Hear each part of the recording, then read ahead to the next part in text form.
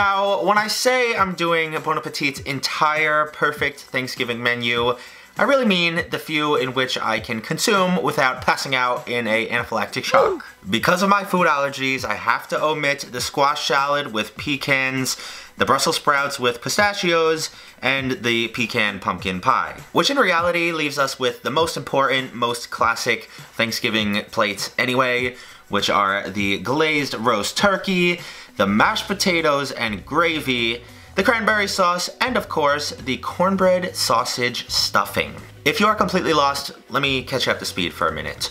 Over the past month or so, all the Bon Appetit chefs have taken one dish from a classic Thanksgiving meal and put in their own unique spins on it, experimented with a ton of different varieties, and basically presented us with what they think is the best Thanksgiving table you could lay your eyes on. This is going to take me a very long time and a lot of ingredients, I feel, so let's get right into this. So as you can probably imagine, this is going to take many days, many grueling hours, but I'm up for the task. It is one of my favorite holidays, and we are going to start with the turkey. As you can probably tell on your own, I have never butchered a turkey by myself. This one is also super different because you break down the raw turkey before you season it or cook it at all. Obviously, most of the time you cook a full turkey in the oven for Thanksgiving, but in the essence of time and flavor and technique, really, we are going to break this down into pieces. I already have to begin asking you guys for forgiveness because I didn't show you the ingredients list. I do for most of the other recipes. This one, for whatever reason, I forgot. Uh, the most important thing about this is once you get your dry rub on here, you have to let it sit in the fridge for at least 24 hours, if not two full days. Obviously, if I went through every single ingredient, every single prep step, we'd be here for hours. Uh, so I'm going to leave all the original videos and the recipes down in the description if you want to go check them out for yourself. I was able to get my decent looking turkey pieces fully rubbed with my seasoning, fully transferred onto a wire rack and into my oven for at least an hour and a half until our internal temperature reads 140 degrees Fahrenheit. Next I'm going to start with my gravy because I think I could probably just simmer this away all day. And for this, you're going to want to grab some olive oil and flour, some red wine vinegar and chicken wings, some sherry wine, cremini mushrooms, butter, whole black peppercorns, MSG, some chicken stock, some shallots, fresh garlic, and fresh parsley. I started by prepping all of my aromatics, which will be the base of our gravy. Uh, that basically consists of our shallot, our garlic, and mushrooms. This gravy is pretty different because you can prep this with its own ingredients days in advance if you want. You don't have to rely on your drippings from your turkey, which is nice to know that you have one less thing to worry about on Thanksgiving Day.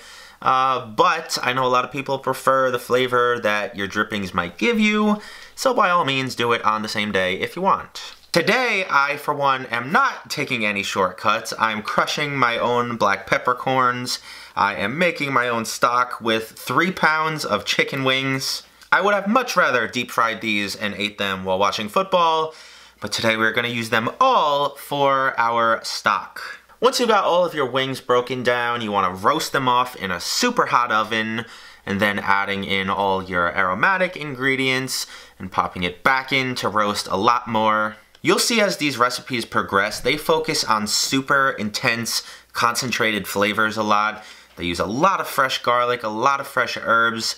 So I'm assuming, based on the amount of work that this all entails, we should have a really nice end product. Now there's a lot of interesting things about this gravy recipe. The fact that it finishes with some red wine vinegar and MSG, but also the fact that you pretty much do a reverse roux.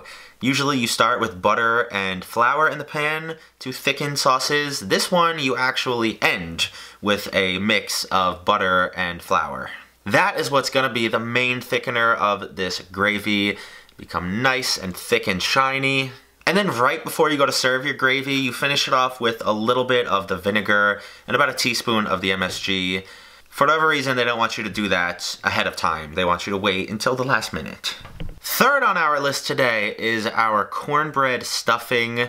I've never thought to put cornbread or any type of sausage in my stuffing, so this should be interesting either way.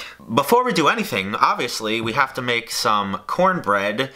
Could I have milled my own dried corn and made it that way? Yes, but I'm gonna skip steps where I can and use this instant box that you just have to mix with uh, some water and some eggs I try to choose my battles somewhat wisely, and that is not one I'm willing to tackle right now. Besides the fresh cornbread, we're gonna need some thyme and sage, some dry white wine and some corn nuts, some more chicken stock and some breakfast sausages, eggs, garlic, a jalapeno pepper, an onion, some fresh celery, and some butter. You know that shit is going down around here when I don't even show me chopping up my onion and celery. I just had so much going on at once. I was skipping steps.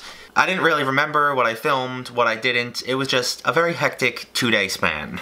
What I do know is that I started with a ton of butter a ton of my celery and onion, some of those fresh herbs, and then eventually I had to grind up some of my corn nuts and throw those in as well. You're gonna deglaze the pan with your white wine, and once that is pretty much cooked off, you can finish it with your fresh herbs. As far as our cornbread goes, we have to cut these in about half to three quarters of an inch cubes, and then let them roast in the oven until they're completely dried out a little bit browned because they have quite a bit of moisture to absorb in order to become stuffing. I'm sure a lot of you at home are probably thinking the same thing. This is way beyond anything I've ever thought of doing for stuffing. Usually it's just a matter of like mashing some bread and some breadcrumbs and eggs and things together and then shoving it in your turkey. Not Chris Morocco, I will tell you that. We also have to decase and cook off some of our breakfast sausage, about one and a half pounds to be exact. And once that is cooked, we are going to combine that with our cubes of cornbread and our vegetable mixture in a bowl that was very clearly too small for the three. Eventually I just dumped everything in a huge pot along with our stock and our three eggs that I mixed together pretty thoroughly. And according to the recipe, you want to give this quite a few minutes to sit and absorb all of that stock. Toss it around a couple times so everything gets absorbed and cohesive. And then in a buttered baking dish, we are going to toss this down and bake it away in a 425 degree oven until you got a nice crust around the sides and the top of your stuffing. I'm not exactly keeping count here, but if I had to give you a rough guess, I would say I was about 18 hours in at this point, obviously chopped up among recipes, but still. We also have to get our cranberry sauce going and into the fridge as quick as possible so it can set fully. That is going to be comprised of some white sugar and unflavored gelatin, kosher salt, unsweetened cranberry juice, some fresh cranberries, fresh sage, orange and cardamom pods. If you couldn't already guess, there was quite a bit of preparation for this video. I had to order quite a few things online, the cardamom pods, the MSG. Uh, also, we need to let this set at least 10 hours in the fridge, and we had already let our turkey sit in the fridge for 30 hours, so this was a long time coming. Luckily for us, the cranberry sauce is pretty straightforward. You want to bring all of your spices, your juice, and your fresh cranberries to a boil, and then just let them simmer away until all of those cranberries start to burst, and you get a nice thick syrupy liquid just like this. To the pan, we're going to add some unflavored gelatin, my least favorite ingredient that's ever been created, really, which obviously will help firm up the mix and allow it to set so it can be sliced at the end. If you didn't already know and you want to be disgusted, unflavored gelatin is pretty much just crushed up animal bones, and it smells like a dead carcass too, so... A perfect example of what you think is just so innocent and just yummy food as a child and you turn into adult and reality hits really hard. We are going to move on to our very last dish, which is our mashed potatoes. Grab yourself four pounds of Yukon Gold potatoes, some kettle cooked potato chips, whole milk and black pepper, some whole wheat bread, butter, thyme, salt, garlic, paprika, lemon, and parsley. Now this is no shade meant, but it is very rare when I'm able to use a technique that I've only ever seen Tasty use in recipes in real life or from other websites. And here is a perfect example. I do not have a food mill, I do not have a potato ricer, but if you have a metal strainer, just like this one, you will be able to rice your potatoes and get a super smooth mashed potato. If you don't believe me, just watch the video, but also I've done this for the Aligot French cheesy potato dish and it worked out perfectly, so that's why I'm trying it again here. Just like I said earlier, these recipes are pretty much about extracting as much flavor out of your ingredients as possible. This potato recipe is no different. Your milk mixture is basically comprised of some fresh garlic, a bunch of fresh herbs, obviously a ton of butter, to finish it off, a strip of lemon zest, and this is pretty much as simple as letting it come to a boil and then letting everything steep in that hot milk for pretty much as long as it takes you to prepare those potatoes. When that magic happens, you are going to strain your milk mixture into your warm potatoes, give that a nice thorough mix over some low heat, and this comes together a lot quicker than you might think. We obviously can't forget about the crunch topping either, which is probably going to be the best part of this. So into a blender or a food processor, you're just going to pull some fresh garlic and some chips and some bread. I know it's a weird combination. It should work if everything goes well. Because once you've got everything pulsed together in some nice coarse pieces, you're going to toast it in some butter first and then finish it off in your oven until everything gets nice and golden and crispy. Now while all of this chaos was happening, every 20 or 30 minutes or so, I was pulling my turkey out and glazing it in this delicious smelling brown sugar soy sauce glaze that we made. Again, if you want to see the exact proportion of ingredients, it's going to be down in the description. Uh, but the most important thing to know is baste your turkey, allow it to reach 140 degrees, let it get a nice crispy skin, and it should be ready to go in about two hours. After I pulled it out and let it rest for a little while, I did my best to carve up the carcass and get nice slices of my breast meat. Honestly, this is smelling absolutely insane. I cannot wait to taste that outer layer of glaze. It has been many, many days, many hours on my feet. I could not be any more exhausted, but I am so beyond excited to try everything on this plate. So once I got what I thought looked like a perfect Thanksgiving dish, I gave it a try. I am so unbelievably exhausted right now. I started filming today at 1 o'clock. It's 3.30 a.m. And I've been filming the last day and a half pretty much also. Will it all be worth it? We're soon to find out. I think I'm most excited for the potatoes. Uh, most intrigued by the stuffing because I've never had any stuffing like this. Actually, let's do a cranberry first because I usually don't even bother eating this. I'm just not the biggest fan of cranberry sauce. It's just super tart. It's got like some, some bitter notes. You get the weird texture of all the skins of the fresh cranberry. Now that I think about it, why did I even bother make, making this? Good point. I'll be sharing everything with my family and friends, most likely, so. I'm gonna go for the turkey next, I think. The rub is pretty standard. I've used mixes like that before. It's the actual glaze that I'm really curious about to see if it even comes through at all. I think I glazed it three or four times. This is cooked pretty well. The flavor is there. The only main complaint I have is the layer of fat underneath the skin. It's almost so thick that I don't think I would have been able to get it crispy anyway. I was really hoping for just like a thin, crisp layer on the outside and then nice tender turkey on the inside. We have quite a significant ring of fat in between. A lot of people's complaints too about turkey is that it's usually really dry and kind of flavorless. I don't know if it was from the water that we put in the pan this is not dry whatsoever. This is super tender and juicy. Look at that. And last, and most importantly, the mashed potatoes. I'm so excited for that garlicky, crispy topping and a little garnish of parsley. I'm sure some of you noticed, because you guys notice everything, I didn't include the tarragon, tarragon, I think British people say it that way. I think they might. Somebody says it that way. Maybe Gordon I- Ramsay. I- or either that or it sounds like a whole other word because it sounds familiar. I left out a few things from the top because really all I wanted was those crispy breadcrumbs chips and then a little green from the parsley. I figured there was enough flavor in that milk mixture that went into the potato, so. Wow.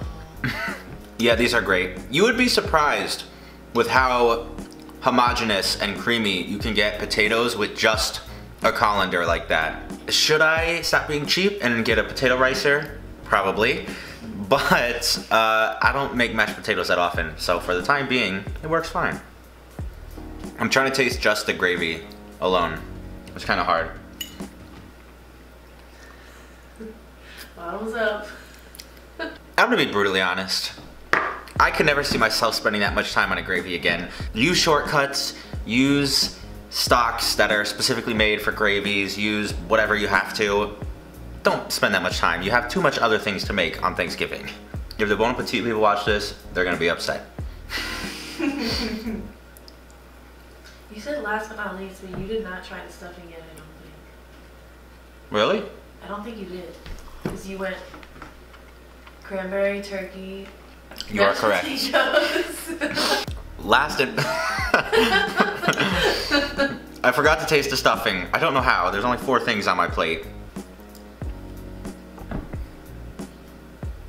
It is such a strange combination. I've never had anything like this. It's not bad. I'm quite enjoying it. But the combination of like breakfast sausage and corn, it's kind of just bizarre. Like if I showed up to Thanksgiving, like the one time of the year, and I got this instead of the traditional kind I would normally have, I would miss it a little bit. Would I choose this over very traditional chicken or poultry flavored stuffing? No. Thanksgiving, 10 days early, I would say success. I hope you guys enjoyed today's video. If you did, leave me a big old like. I can't even begin to imagine how long this video is gonna be. So if you're still around, I love you. You're the best. Happy Thanksgiving to everybody who celebrates it. I probably will not see you until the day after when we do our yearly Thanksgiving leftover hacks. Until then, have an amazing weekend. Peace.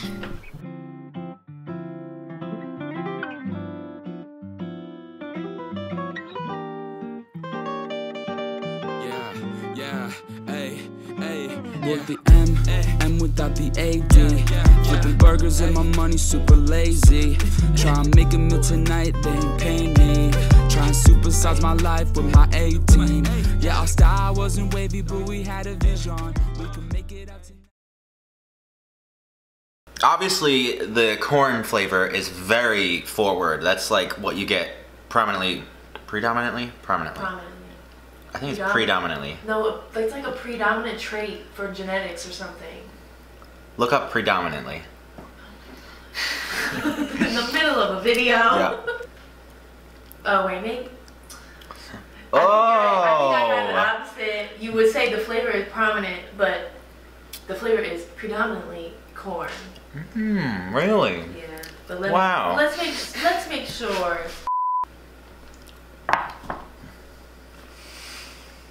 You just like collapsed. I, I feel like I want to collapse right I now. I can tell. I haven't sat down in 14 hours except on the bowl. But I just You put that in.